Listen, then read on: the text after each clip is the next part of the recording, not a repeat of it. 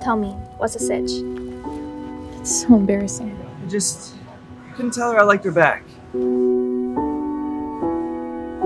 He walked away and never came back. Who the hell does that? Right? I messed up with Roslin. Roslin? Yeah. How? I'm sorry, what? Oh,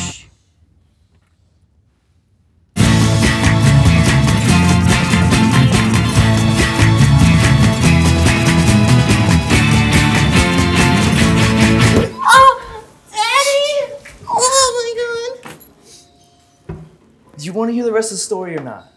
Let me get up then.